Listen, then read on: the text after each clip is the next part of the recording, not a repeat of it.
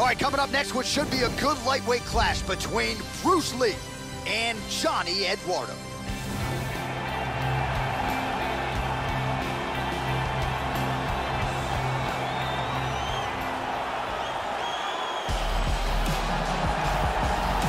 Our tale of the tape for this, our main event of the evening.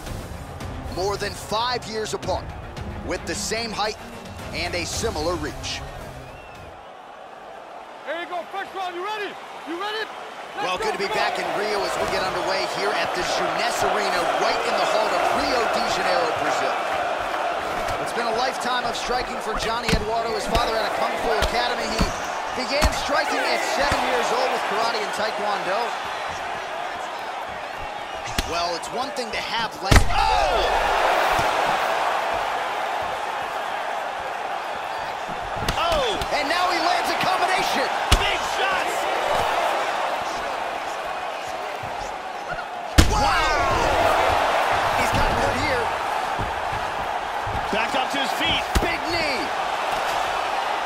The left hook hits home. Oh, oh big knee. Oh. This could be it right here. Oh, look at this. Who saw that coming? Both guys landed big shots. Oh! Hurt him with that Superman punch. Hard hook. Nice leg kick. Lands to the body there. He's going to the foot stop here, Joe. He's got the double.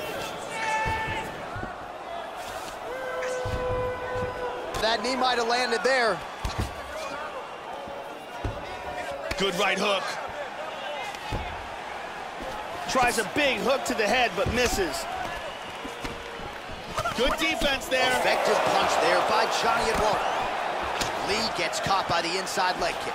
Shows him the left and then follows it up. Whoa! This fight is dangerously close to being He's got him stopped. hurt here.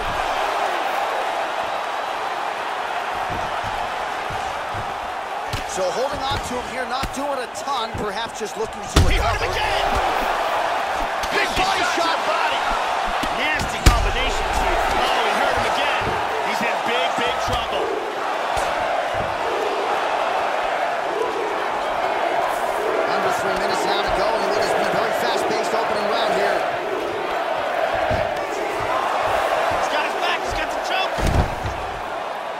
Now he's pretty deep. Oh, that's nasty. He's Not out. tapping out tonight. Full guard. Gets up again here, but hurting.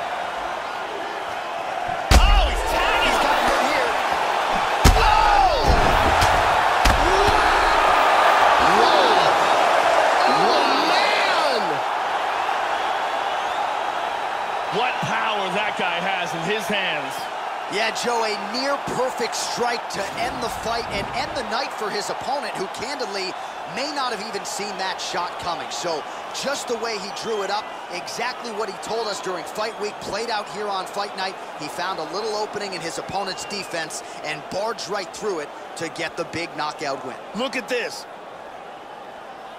And he's out. And there he is after the huge knockout turned in tonight. Near perfect execution and one of the bigger highlights of his UFC career.